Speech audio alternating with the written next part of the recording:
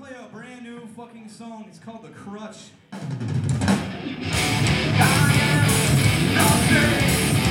again, I stand silence, waiting.